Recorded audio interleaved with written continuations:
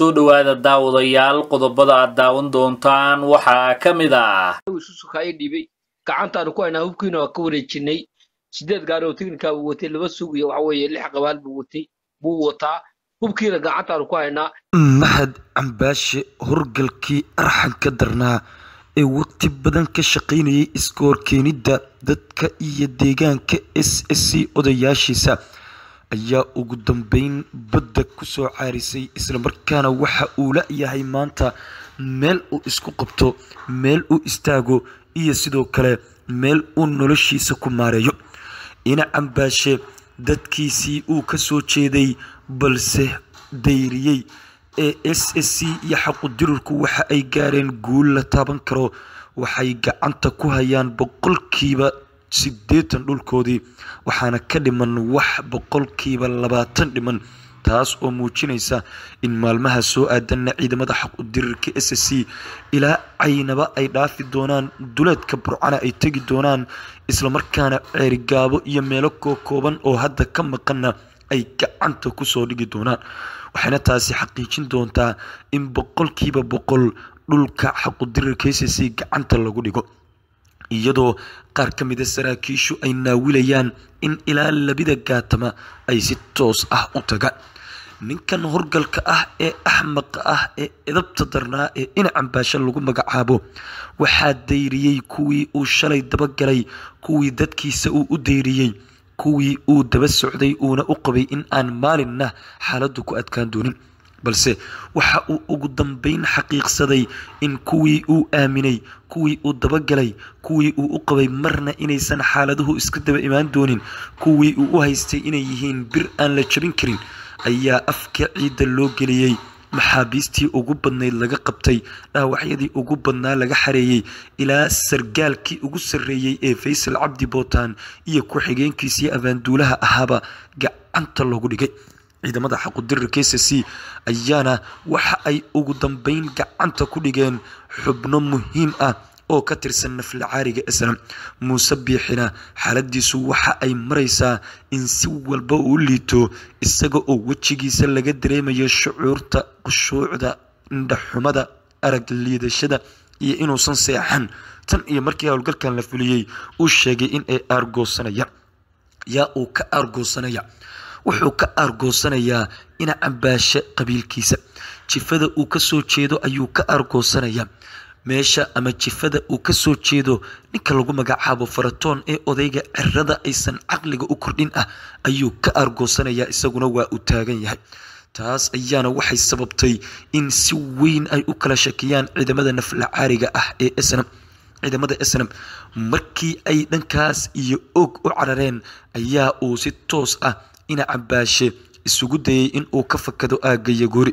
waxa uuna dalbaday ciidamo ka tirsan kuwa nafla caariga snam balse markii ciidamadan ay dib u soo laabteen ayuu waqtigii ku dheeraaday wuuna sugi waayey. Wuxuuna u cararay dhankaas iyo deexda ee gobolka sanac. Taas ayaana sababtay ciidamadii nafla caariga snam oo weli aagga wareegaya ina cambaashana inay badbaadiyaan raadinaya in gacanta lagu dhigo maxaabiis ahaana intii soo laabatay loo kaxaysto. Weliba waxa ay arkeen sargaalkii ugu sarreeyey ee faysal cabdi bootaan iyo ku-xigeenkiisii uu ahaa abaanduulahaba iyada oo gacanta lagu dhigay islamarkaana gebi ahaanba meesha laga saaray nafla caariga snam ayaa waxa ay qaateen go'aan ah in ay cid walba oo ka shakiyaan gacanta saaraan waxa ay xitaa cagta sii mariyeen qoys deganaa meel aan sidaas uga fogeyn deegaanka oog oo ka soo jeeday garxajis. Marka loo sheegay in qoysku garxajis yahay ayay cagta mariyeen carruur iyo haween ayayna halkaas ku laayeen taasoo muujinaysa carada xoogga leh ee ay qabeen iyo sidoo kale qaabka ay si walba u diriirsanayeen. Saraakiisha qeybtood ayaa mahad cabaashay inta aysan toos isku arkin isla hadleen waxayna sheegeen inay uga shakisan yihiin in uu qeyb ka ahaa dhibaatadii xoogga lahayd ee ku dhacday islamarkaana iyadoo askarta qaar fakadeen uu isagu u yeertay markii dambena la laayay qeybna laga qabqabtay. Ina cambaashe xaalka ayaa ku xumaaday dhulka ayaa ku yaryaraaday dhulkii eebba ballaariyey ayuu hadda meel uu ka istaago garan la-yahay waxa uu isku aamini la-yahay nafla caarigii snam ee dadkiisa uu beylihiyey dadkiisa u dayriyey u arkayay biraan jabin oo laga dhigay wax aada u basiida wax fudud oo inta dhabarka looga istaagay hubkii laga wada furtay si walba looga adkaaday islamarkaana haddana deegaanadii intoodii badnayd gacanta looga hayo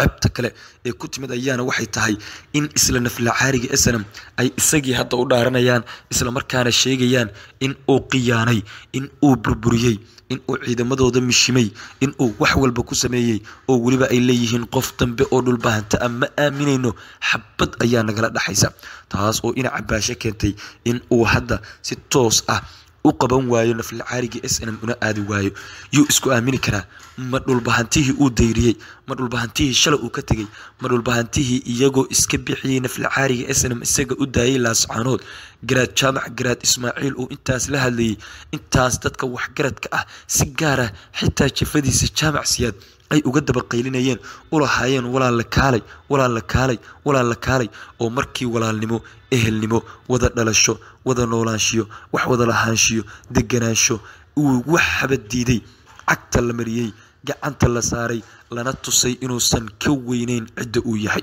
La tusay in garaadka uusan ka weyneyn la tusay in dadkanoo dhan isagu uusan ka muhiimsanayn oo la yiri intii aan wada dhiman lahayn oo aan isku dhiman lahayn adigu dhimo balse dirqi uu kaga baxsaday.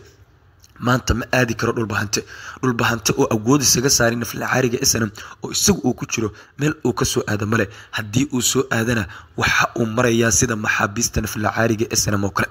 Sidoo kale ma jirto isku aaminaadu isku aaminaya isaaq. Wuxuuna u arkaa in isaaqii sida uga loo laayay oo laga dilay ciidan ka badan saddex boqol islamarkaana laga hayo kuwo ka badan saddex boqol oo dhammaanba ciidamadii joogay gooja cadde ay ka fakadeen wax boqol aan dhammayn. Xaalkoodu halka uu marayo sida ay u caraysan yihiin waxaana caradooda tustayba sida ay taleefonka ugala hadleen iyo qaabka ay ugu hanjabeen taas oo muujinaysa in naflacaariga snam aysan ina cabaasha markan badbaadinayn dhulbahanta ahaanna ay uga aarsanayaan isaga dhulbahanta ahaan ayaa loo dilayaa dhulbahantuhuna naflacaariga snam ahaan ayay u dilayaan meel u fayowna ma jirto. Dhulkii ballaarnaa ee eebba sameeyey ee beri uu sargaalka ka ahaa ee tuutaha ku xiran jiray ee markuusa taagleyn jiray ee ciidamada iska watay ee dadku isaga ka dambeeyeen wax walba isaga la weydiin jiray dadka uu iska layn jiray islamarkaana la baryi jiray oo la tuugi jiray oo isagoo magaaladiisa dhex jiifa la jiray walaalle kaalay naflacaariga nala bixi maanta isagii meel uu ka istaago ayuu garan la-yahay waxa uu ku sugan yahay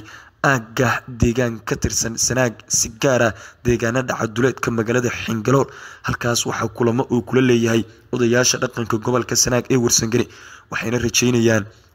siday u arkaan in ay ka ergeyn karaan taas oo keenaysa in hubka dhigis lagu sameeyo isagana dhaqan celin lagu sameeyo waana waxa keliya ee loo samayn karo. Waxaa jira warar sheegaya in hubka lagala harayo isagana loo dirayo dhankaas iyo wadamo afrikaan ah ama la geynayo magaalada garowe ee caasimada dowlad goboleedka puntland halkaas oo muddo uu ku sugnaanayo. Ina cabaashe dhul iyo cirba waa laga nacay wuxuuna u muuqdaa in hadda uu noqday ardaal aan dad dal diin deegaan iyo sidoo kale tol toona lahayn. Isaga ayaana waxaasoo dhan ka dambeeyey oo dabada ka leefleefay naflacaariga snam iyo dabacayuun uu ogaa maalin walba in laga awood badan yahay